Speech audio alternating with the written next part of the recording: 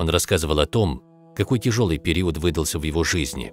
Один год был особенно тяжелым, когда развелись его родители, и примерно в это же время умирает его друг.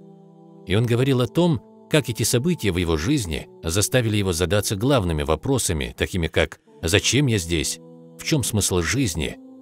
Он был воспитан родителями, которые были атеистами, но он сам имел ту склонность поразмыслить и попытаться понять, а есть ли Бог, что там есть, что все это значит, в чем смысл, почему я страдаю. И так он начал поиски, он начал искать. Он изучил христианство, он изучил индуизм, буддизм, мормонство, он изучил все различные верования. А потом он дошел до ислама. И, говоря коротко, в один из дней он зашел в мечеть, где он встретил группу мусульман. Вот там он задал им все интересующие его вопросы. Что вы, ребята, думаете об этом? Что вы думаете о том?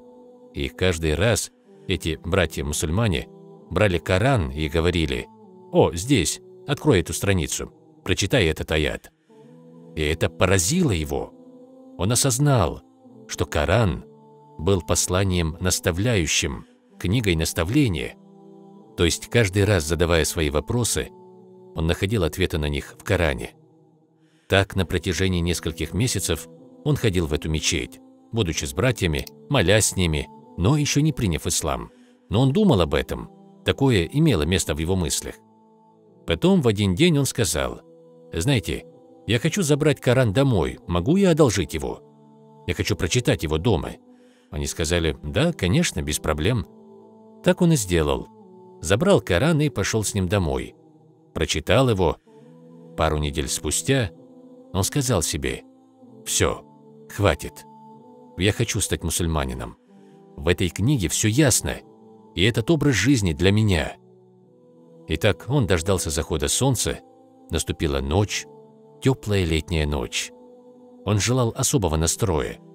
Он открыл окно, зажег свечу, притушил свет и читал Коран. Затем он закрыл Коран, поставил его на полку и сказал, «О Аллах, это все. Я хочу принять ислам. Я хочу сделать этот прыжок. Я верю в это. Я прочитал Коран, и он вразумил меня. Но мне нужен этот последний толчок. Мне нужен один дополнительный толчок в качестве доказательства того, что это истина. Что же он сделал? Он сказал, пожалуйста, просто покажи мне знак, что ислам действительно является истиной. Он подождал, потом сказал, я не прошу о чем-то большом. Ничего такого большого. Просто, может, типа молнии или что-то в этом роде. Он подождал. Абсолютно ничего. Даже звука не было снаружи, даже звука машины. Тогда он сказал, «Хорошо, я дам тебе еще один шанс. О Господь, это еще один шанс для тебя, чтобы доказать мне, что ислам – это истина». Так он подождал снова, и абсолютно ничего. Не было даже скрипа в стене его дома. Никакого звука. Все, чего он хотел, это всего лишь крошечное знамение. И абсолютно ничего. Он разочаровался и сказал, «Хорошо, я попытался, но не получилось». Потом он взял Коран с полки, открыл его, вернулся на то же место, где читал, и какой аят, вы думаете, ему попался?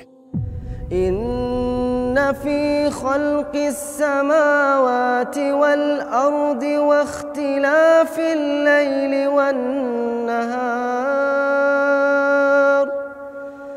واختلاف الليل والنهار لآيات لأولي الألباب Поистине, в сотворении небес и земли есть знамение для людей размышляющих. Коран, сура 3, аят 190. Причист Аллах. Он просил знамение, и Аллах дал это ему. Не так, как он ожидал этого, не так, как он хотел, но посредством самого Корана, в следующем же аяте.